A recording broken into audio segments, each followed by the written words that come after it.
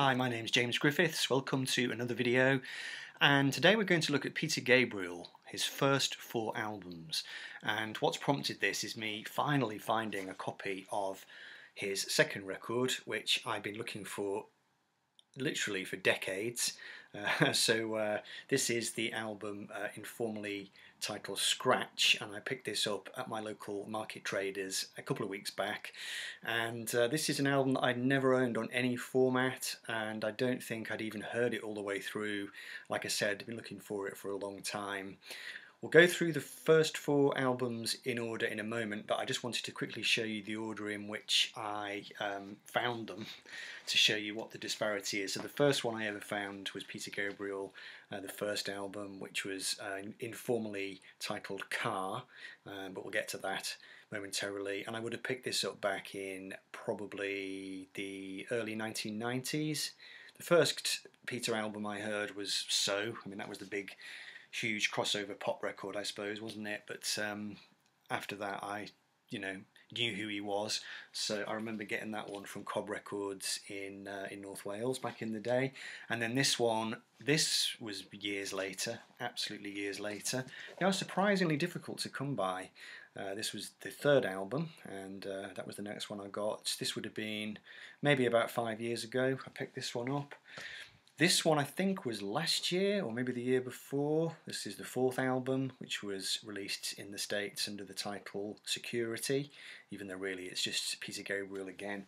And then like I said, this is the one that I found in the last couple of weeks, Scratch, so um, really pleased to add that to the collection. So I figured now would be a good time. I've just been listening to all these albums in order, so they're all fresh in my mind again. So I thought it would be good fun just to go through them, see what I think of them, give you a little bit of history about them, and try and put them into some kind of context. And uh, so that will be good fun. So um, obviously, Peter Gabriel had had this um, pre solo career in Genesis between I don't know, 1971 and 1975. He left Genesis in the summer of 75, and so this was the last album that he appeared on, obviously. The Lamb Lies Down on Broadway, and I think it's important to listen to this album before you listen to the Peter Gabriel solo albums, because I think, in a way, this record did lay down the template for what he was going to do as he went solo the first four Genesis albums, or the first three or four, they've got this kind of whimsy about them. Think of those album covers, you know, Foxtrot and Nursery Cryme, and the music on the record, on those records, there is a bit of darkness coming through, definitely a bit of spooky Victoriana, but Genesis was a very particular thing. You had the very florid keyboard magistry of Tony Banks, and they were a progressive rock band essentially. Peter Gabriel, I think, had a slightly different approach to things. His approach reminds me a little bit of Robert Fripp, and I think Fripp and Peter Gabriel were quite had quite a lot in common in the sense they both jumped off the prog rock ship uh, when they saw the iceberg coming. Peter Gabriel jumped off Genesis, and then they did do some good stuff, but by 1976, punk had broke and Genesis was starting to look distinctly passe. And Peter Gabriel, I think he used some of the some of the strangeness and some of the darkness on this album. Not all of this album works, it's quite indigestible in places, but you get the sense of an artist, Peter Gabriel, I think, straining against the constraints of the prog rock Genesis template, where it was always it was always going to be about Tony Banks's florid keyboard work, and um, he needed to get out essentially.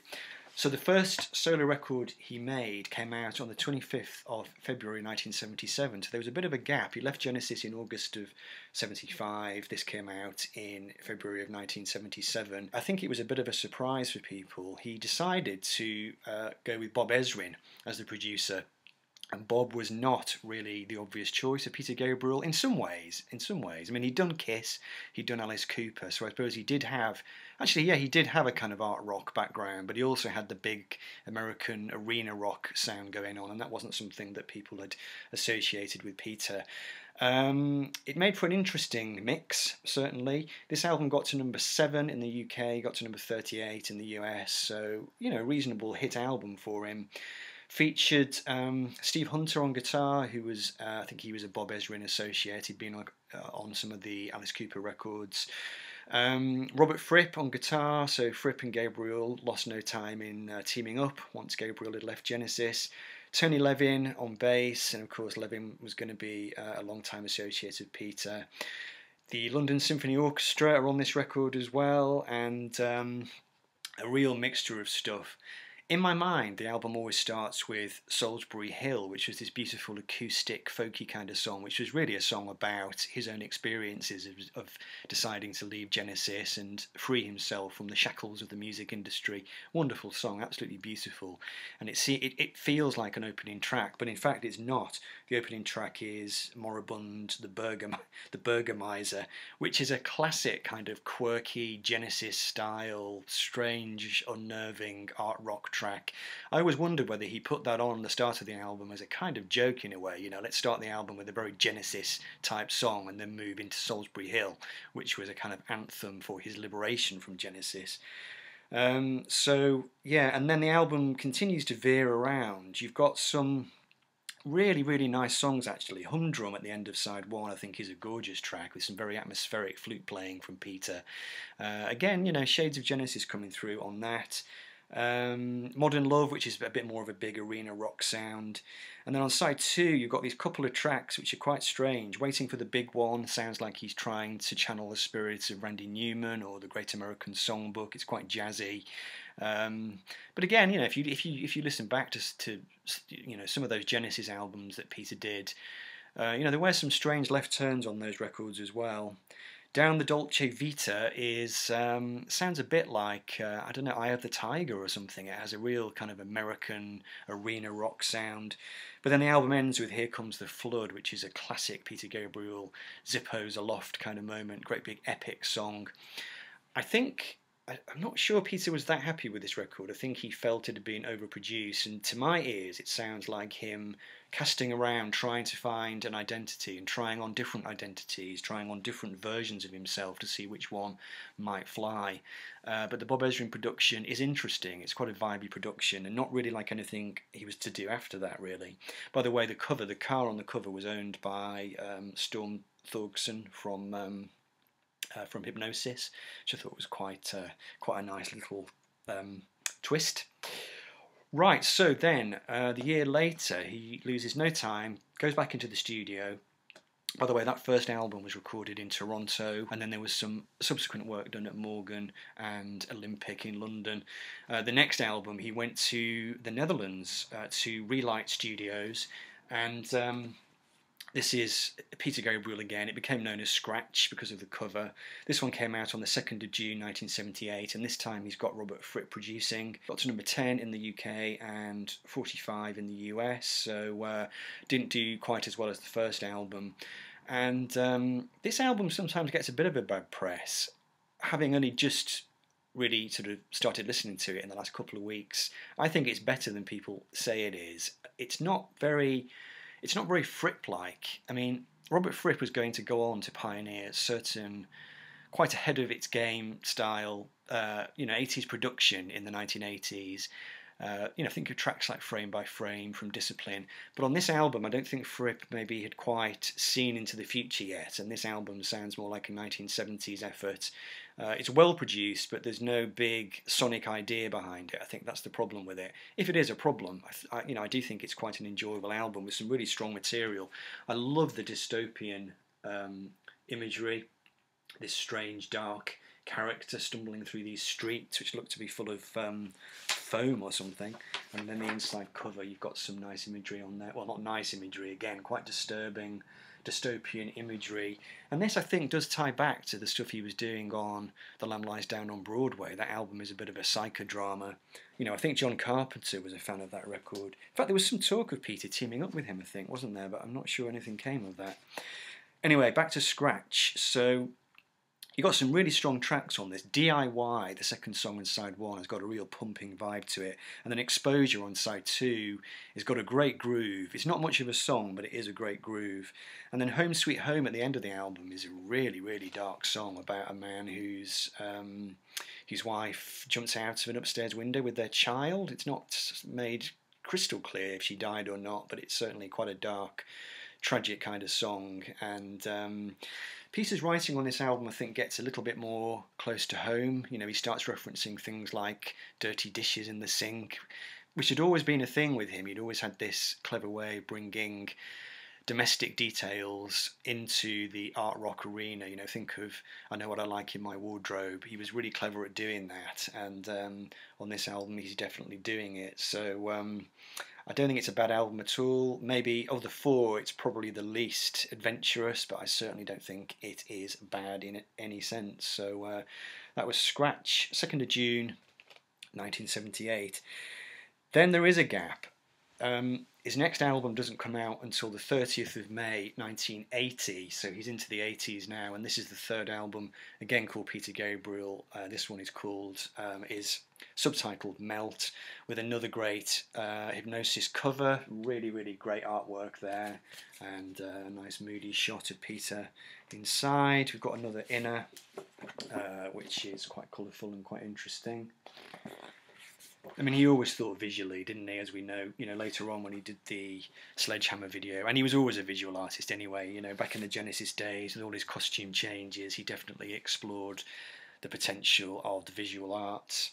This one, 30th of May 1980, and this was his biggest album to date. Got to number one in the UK, got to number 22 in the US, and this teams him up with the production team of Steve Lillywhite, the producer, and his engineer Hugh Padgham. So he's messing with the big boys now. Stephen Hugh obviously pioneered this incredible 80s sound, which uh, took lots of people into hitherto unexplored areas of their career. You know, great sound a sound of its time, definitely, but um, when you you know, the artists who knew how to harness it did really well with that sound. Maybe McCartney less so on Press to Play. Even that has its moments. But um, anyway, this album, this I think is where Peter Gabriel's true sound really started, and it coincided with the beginning of his interest in African music, world music, whatever horrible um, phrase, but you know, he was the guy that pioneered WOMAD, and that started to happen around this time. He started to become more political. There are some songs on this record which have you know definite cultural political themes. Big range of people on this album. You've got phil collins and jerry marotta on drums. I know jerry was i think jerry was a drummer that hugh padgham had used before and he was going to go on to use him again actually on press to play Phil Collins and Jerry were told not to play any cymbals on this record. It was a thing that, for some reason, Peter decided he wanted to go down that um, avenue. I think they found that quite interesting. So, um, and of course, this is the album where the gated drum sound first gets invented. A complete accident. It was a compressor that they were using on the talkback system in the studio, and uh, they just happened to hear either Phil or Jerry playing a snare drum through it one day by accident, and they just had this incredible gated sound, which does bear a resemblance to the drum sounds on the Bowie albums. You know, think of Low and Heroes. So you know, some of that stuff sort of had been done before, but this had a kind of 80s. There was an 80s touch to that drum sound, and uh, it became incredibly influential. Great roll call of musicians on this album. Larry Fast on synths doing a great job of playing some very, very uh, of their time sounds, but really classy sounds. Paul Weller turns up on And Through the Wire uh, with his very abrasive jam style guitar sound. Dave Gregory uh, from XTC is on I Don't Remember and Family Snapshot. Kate Bush turns up singing backing vocals on No Self Control and the big hit single Games Without Frontiers, which I think, let's have a look. I think that was his highest charting UK single to date. Got to number four. I think Sledgehammer got to number four as well. The other single, of course, was um, Biko, which was about the South African anti-apartheid campaigner Steve Biko, who had been murdered by the authorities in South Africa in back in 1977. So that was Peter really showing his hand in terms of being a political songwriter who was not afraid to start dealing with some pretty major issues. And that was, I think, he was kind of riding the zeitgeist really in the 1980s in that respect. Games Without Frontiers as well, obviously, had a very political slant to it, and. Um, the album just has this very original sound, quite airless sounding, um, starting to hear ethnic sounds coming through, and it's very, very different from his first two albums. The album was actually rejected in the States originally. Atlantic, who was Peter's American distributor, didn't think it was going to sell, so they rejected it. So in the States, originally it came out on Mercury, and then a couple of years later, I think Geffen then brought it out, and by then I think they were a subsidiary of Atlantic. So Atlantic ended up releasing it in the end anyway, once they'd realised their mistake. But um, in England, it came out uh, on uh, the usual Charisma label, and it, this one's got a really, really nice custom label, which I will quickly show you. So we've got the. Let's have a look at both sides. We've got a bit of a face melting thing happening on both sides wonderful imagery, which really exactly matches the music. That was what was so um, enticing, I think, about Peter's albums. You always got the sense that there was a kind of integrated aesthetic going on between the visuals and the music. And that carried on with the fourth album, which uh, again is just called Peter Gabriel, although Geffen Records actually did call it, they actually released it in the States under the name Security. I think that's how it's now listed on Spotify as well. So this one, this album came out in 1982, released on the 10th of September, so a couple of years break again. Got to number 6 in the UK, got to number 28 in the US, so a bit of a dip from the previous album, but uh, he's still doing pretty well. Let's have a look at this one. So again, we have an inner with some quite interesting um, visuals there, this kind of infrared thing going on. God only knows what the uh, what the image on the front is meant to represent. No idea about that, but there's a certain kind of horror film, almost like a sort of Aphex Twin aesthetic going on there. And uh, again, a bit of a custom label. You know, talking of the Aphex Twin, I think these two albums, this one and the previous one, Melt, I think they were extremely influential.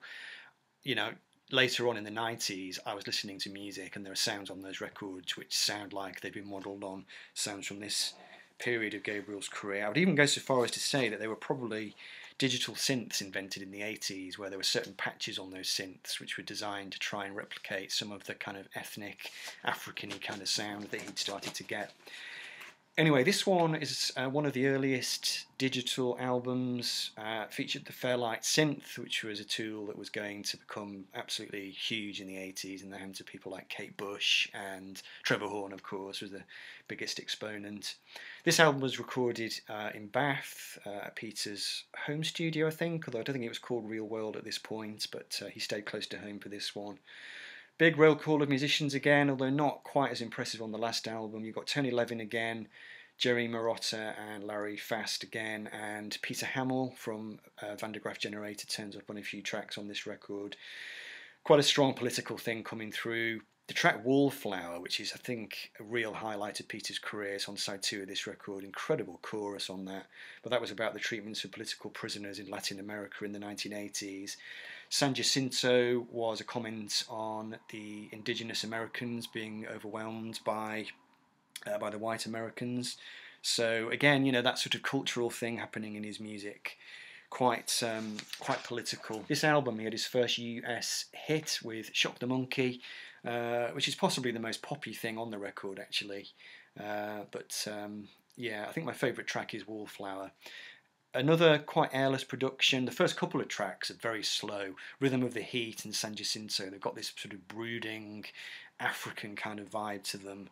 And um, touches, I think, of what he was going to go on to do in So. I think if you listen to Wallflower, you can hear touches of what he was going to do on, say, a track like Mercy Street on So, starting to develop the more melodic side to his personality, which had always been there, but um, it's definitely starting to sharpen up on this record. And of course, after this, he went on to not ditch the art rock exactly, but he found a way of turning it into a more commercial proposition. And of course, with with the release of So in 1986, um, he became a big, big major star. And I think, in a way, I think he painted himself into a corner by that point. I think Peter Gabriel, his first four albums have this great sonic inventiveness to them, or the second two anyway. Melt and Security have that. But I don't think he ever really bettered Melt and Security. And his new album, which I've heard, it's good, but I think, as Norman Masloff was saying, it's it doesn't really do anything new. There's a, I think there's a sense that in the late 1970s and early 80s, he invented his own aesthetic and. Um, once he'd become a huge major star, I think when he wanted to go back to doing interesting left field work again, there was nowhere really to go except back to the kind of sound he'd been doing uh, on those albums. So anyway, a bit of a sidetrack there. So I hope you enjoyed that. Just a quick look at Peter Gabriel 1 through 4 and uh, let me know what you think of those albums. I'm not going to try a ranking, that would be very unwise. So uh, yeah, thanks for watching and I will see you in the next video.